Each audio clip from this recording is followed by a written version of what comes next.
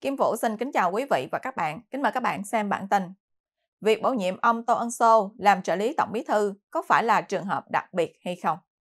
Ngày 8 tháng 9, BBC Tiếng Việt bình luận ông Tô Ân Sô làm trợ lý tổng bí thư Tô Lâm có đúng quy định hay không? Theo đó, Trung tướng Tô Ân Sô được ban bí thư bổ nhiệm giữ chức trợ lý tổng bí thư và phụ trách văn phòng tổng bí thư vào ngày 4 tháng 9. BBC đánh giá ông Tô Ân Sô là người khá thân cận với Tổng bí thư, Chủ tịch nước Tô Lâm. Ông đã theo ông Tô Lâm từ Bộ Công an sang văn phòng Chủ tịch nước và hiện nay là văn phòng Tổng bí thư. BBC cho biết ông Tô Ân Sô được bổ nhiệm chức trợ lý Ủy viên Bộ Chính trị, Bộ trưởng Công an Tô Lâm từ tháng 11 năm 2021. Chỉ hơn một tuần sau khi ông Tô Lâm trở thành Chủ tịch nước, thì vào đầu tháng 6 vừa qua, Trung tướng Tô Ân Sô đã nhận nhiệm vụ mới tại văn phòng Chủ tịch nước nhưng không rõ chức vụ của ông Sô tại đây là gì. Và đây là hình bài trên BBC. BBC nhận xét, trong thông báo ngày 4 tháng 9 về quyết định bổ nhiệm ông Sô làm trợ lý tổng bí thư, vẫn ghi ông là trợ lý Bộ trưởng Bộ Công an, trong khi ông đã chuyển về văn phòng Chủ tịch nước.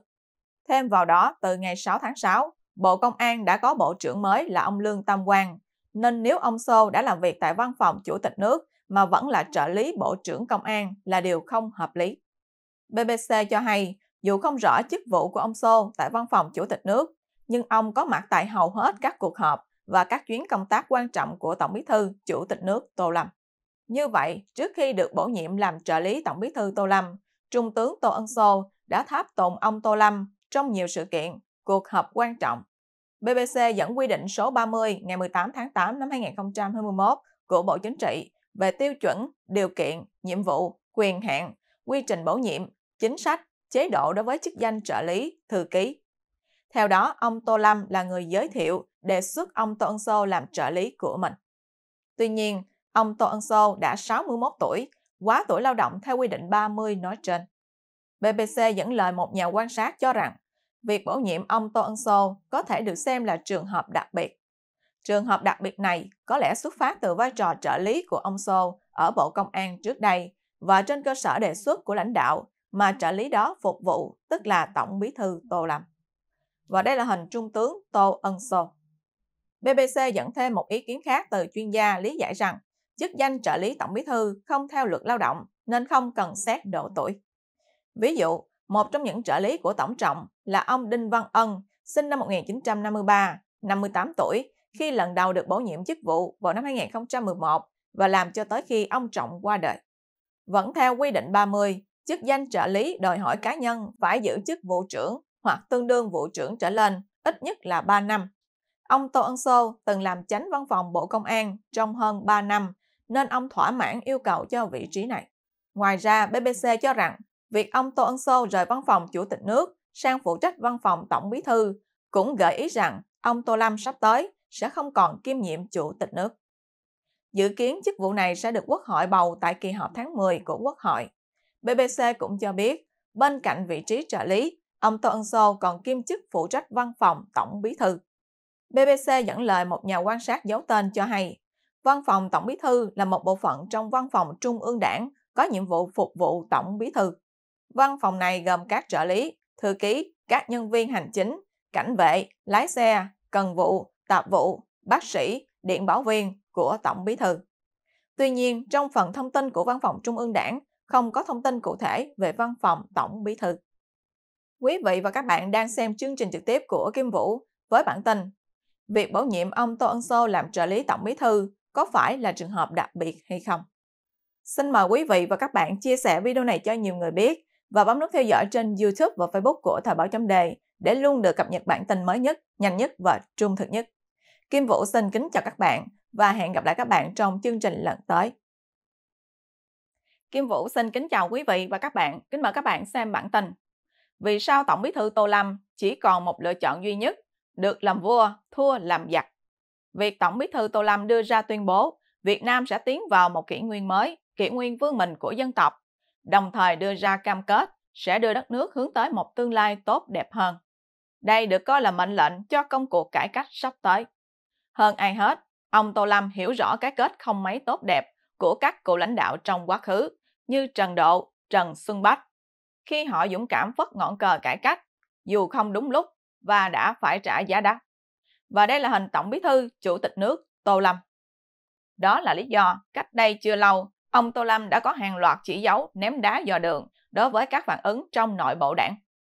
Trong chuyến thăm Trung Quốc lần đầu tiên trên cương vị Tổng bí thư, ông Tô Lâm đã quyết định đến Quảng Châu, một cái nôi của cách mạng Việt Nam để thăm các địa chỉ đỏ. Giới quan sát đánh giá, ông Tô Lâm đã khẳng định lập trường kiên định, không thay đổi trong đường lối của Đảng Cộng sản Việt Nam. Trong các hội nghị hay sự kiện quan trọng, Tổng bí thư Tô Lâm đã luôn luôn dành một phút tưởng niệm cố Tổng bí thư Trọng để thể hiện sự kính trọng với người tiền nhiệm đã khuất. Tuy nhiên, giới quan sát tin rằng tất cả những điều trên chỉ là những chiêu bài chính trị nhằm khỏa lấp nghi án rút ống thở đối với ông Trọng do Tô Lâm và phe cánh thực hiện. Đường lối của đảng đã chỉ rõ, đảng là của giai cấp công nông và quần chúng lao động. Đảng lấy chủ nghĩa Mark Lenin làm nền tảng tư tưởng và đảng là lực lượng chính trị duy nhất dẫn dắt lãnh đạo đất nước. Và đây là hình cố Tổng bí thư Nguyễn Phú Trọng. Do vậy, bất kỳ biểu hiện nào khác với điều này sẽ bị coi là chệch hướng, là phản bội lý tưởng Cộng sản. Điều đó bị coi là các sai phạm nghiêm trọng và phải bị xử lý triệt để. Vì các nhân vật như Trần Độ, Trần Xuân Bách là những người đã có xu hướng đổi mới mạnh mẽ khi trào lưu cải tổ do Gorbachev khởi xướng trong các đảng Cộng sản là một ví dụ. Ông Bách đã bị phê phán, bị đấu tố gây gắt, cuối cùng bị kỷ luật, buộc phải ra khỏi Bộ Chính trị và Ban chấp hành Trung ương. Hiện nay, ông Tô Lâm có các biểu hiện thân Mỹ và phương Tây hơn là thân Trung Quốc trong chính sách đối ngoại. Những điều kể trên cho thấy sự phản kháng của một bộ phận không nhỏ trong nội bộ cấp cao của Đảng Cộng sản Việt Nam, vốn là các đệ tử trung thành của cố Tổng bí thư Nguyễn Phú Trọng, là điều hợp lý. Hiện nay, thế và lực của ông Tô Lâm và phe cánh trong đảng chưa đủ mạnh với số lượng ủy viên trung ương, ủy viên Bộ Chính trị của phe Hưng Yên còn quá mỏng. Và đây là hình đại tướng Phan Văn Giang. Đó là lý do trong thời gian gần đây, ông Tô Lâm hết sức nỗ lực trong công tác tổ chức nhân sự để đưa các nhân vật thân tín của mình vào Bộ Chính trị và các vị trí lãnh đạo then chốt. Nhưng những nỗ lực vừa kể lại tạo nên hiệu ứng ngược, nó càng làm cho sự bất bình trong đảng tăng cao. Trong khi đó, theo một số ý kiến, thế lực chống lại Tổng bí thư Tô Lâm trong đảng được cho là đang có một ưu thế vượt trội, đó là sự ủng hộ của ban lãnh đạo Bắc Kinh. Những biểu hiện thân Hoa Kỳ và phương Tây hơn là thân Trung Quốc của Tổng bí thư Tô Lâm chắc chắn sẽ bị Bắc Kinh chặn đứng bằng cách này hay cách khác. Đây được coi là sự chệch hướng và phản bội lại lý tưởng cộng sản nếu một khi ông Tô Lâm thất thế. Điều đó cho thấy, tại thời điểm hiện nay, ông Tô Lâm đang ở thế ngồi trên lưng cọp. Do đó, ông và phe cánh của ông chỉ có một lựa chọn duy nhất, đó là đối đầu tới cùng với bộ phận còn lại trong đảng, với phương châm được làm vua, thua làm giặc. Quý vị và các bạn đang xem chương trình trực tiếp của Kim Vũ với bản tin vì sao Tổng bí thư Tô Lâm chỉ còn một lựa chọn duy nhất, được làm vua, thua làm giặc. Xin mời quý vị và các bạn chia sẻ video này cho nhiều người biết và bấm nút theo dõi trên YouTube và Facebook của Thời báo .d để luôn được cập nhật bản tin mới nhất, nhanh nhất và trung thực nhất. Kim Vũ xin kính chào các bạn và hẹn gặp lại các bạn trong chương trình lần tới.